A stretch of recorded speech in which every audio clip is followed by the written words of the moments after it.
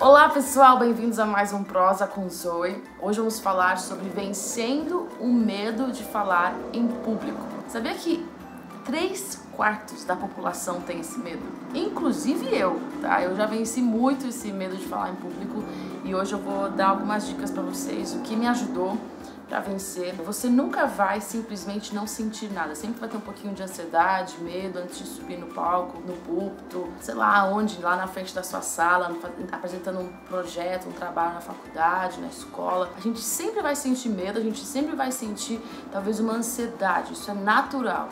Agora, esse medo e essa ansiedade pode no final sabotar o seu discurso, a sua palestra ou aquilo que você quiser compartilhar. Então eu vou te dar cinco passos bem práticos do que pode te ajudar a vencer esse medo. Número um, encare sua audiência antes de começar a falar. Só que para isso você tem que ter de alguma forma uma estratégia. Quando eu digo isso, sempre que alguém vai te introduzir para falar alguma coisa, seria legal você já estar tá atrás e vendo a audiência. Na escada lateral do palco, ou talvez você ficar de pé no cantinho por um tempo e começar a olhar a audiência. Quando você olha a audiência, aquele momento você começa a se acostumar estando diante dela. Agora, se você só, sabe, abaixa a cabeça, já sobe assim, né? Sobe a escada, abre o olho, gente, isso vai.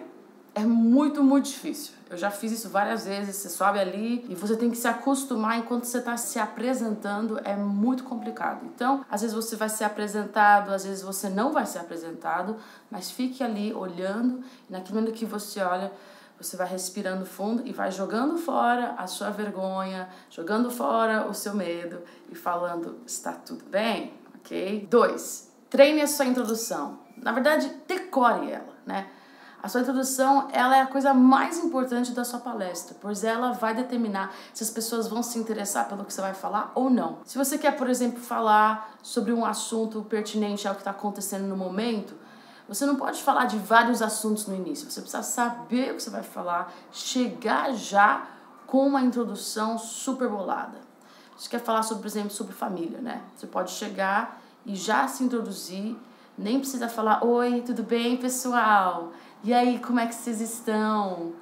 É, então, meu nome é Zoe é, e a gente. Não, você pode começar com uma pergunta: Quantos de nós já imaginamos uma família perfeita?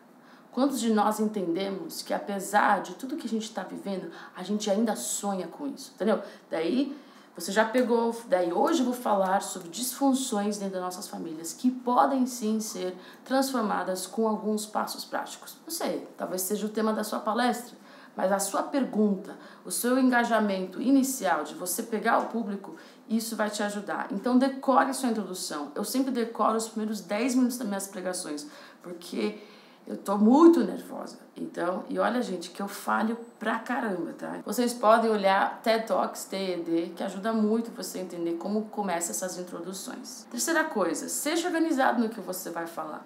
Às vezes a gente, se a gente não sabe bem o nosso conteúdo, a gente tem muita dificuldade, porque além do nervosismo, além de a gente estar consciente do que está acontecendo, a gente precisa saber nosso conteúdo. Quatro, tem uma postura física boa. Ou seja, a sua pessoa lá na frente, você precisa estar confortável. Você não pode estar usando uma roupa que você não está confortável, você também não pode estar, eu diria, pensando em você o tempo todo.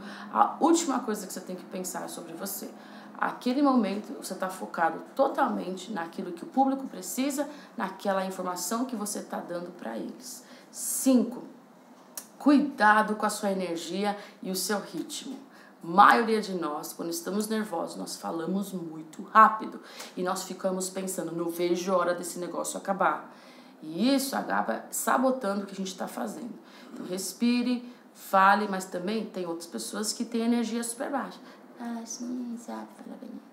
Vai falar com firmeza, falar com clareza, articular bem suas palavras e ter energia, porque a sua energia contagia as pessoas. Esse eu diria que é um dos meus maiores desafios. Que daqui a pouco eu tô falando assim, assim, daqui a pouco eu tô ali. E eu tinha que fazer o quê? Volta ali, volta, põe o tom mais alto da sua voz. Abra aqui os seus, os seus ombros.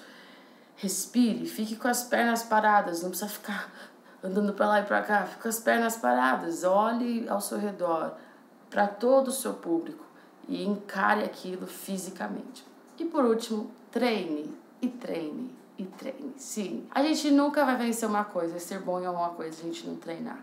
São anos e anos que as pessoas treinam falando em público para que elas possam vencer esse medo. Eu diria que existem pessoas que têm um talento natural para falar em público. Eu sou irmã de um desses. É assim, é natural. É cheguei lá e arrasei, né? Eu não, eu tive que trabalhar muito, e porque eu não tenho esse talento natural. E por isso que eu posso te ajudar, porque eu venci muita coisa. Porque uma pessoa que tem um talento natural, ela só sente um pouquinho de ansiedade, mas ela se vira muito bem nos 30 ali, sabe? Agora, uma pessoa que não tem esse talento natural, ela pode sim desenvolver uma capacidade de ser clara, de ser uma pessoa objetiva, de trazer uma mensagem, porque a sua voz é importante, aquilo que você tem para falar é importante, a sua história é importante. Então, não se cale por causa do medo.